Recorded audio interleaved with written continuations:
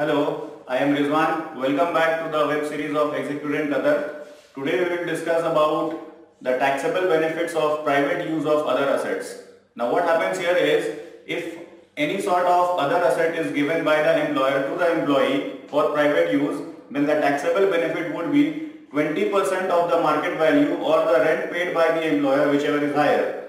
Now the second case is if that asset which has been provided by the employer to the employee, if that is subsequently given to the employee or sold to the employee, then the taxable benefit changes. So in the first case, if it is provided by the employer to the employee, then it is 20% of the market value or the rent paid whichever is higher. Second, if it is subsequently sold to the employee, then it is higher of current market value. Current market value means the value on the date on which the asset was given to the employee or sold to the employee. So current market value minus the price paid by the employee or the original cost. Original cost means when it was first purchased by the employer minus any taxes paid till now minus the price paid by the employee. So we'll compare these two figures. The higher of that figure will be the taxable benefit right? So there are two things in this topic, two discussion in this, in this topic.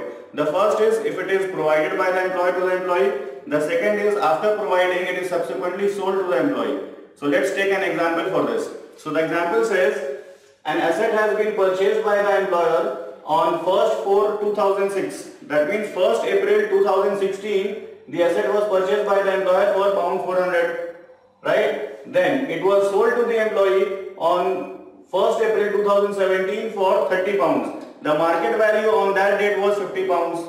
Then what we have to do is we have to find out the taxable benefit for the two years. First year is 16-17 and the second year is 17-18. Now if you look at if you look at the solution here for the first year since it was only provided by the employer to the employee so what will be the taxable benefit? It will be 20% of the market value because there is no rent paid here in the question. So for the first year of 16-17, the taxable benefit would be what? 400 into 20%, that is 80 would be the taxable benefit for the first year. Now for the second year, the adjustment is what? Now it is given, it is sold to the employee. So we have to check higher of two conditions. What is the first conditions?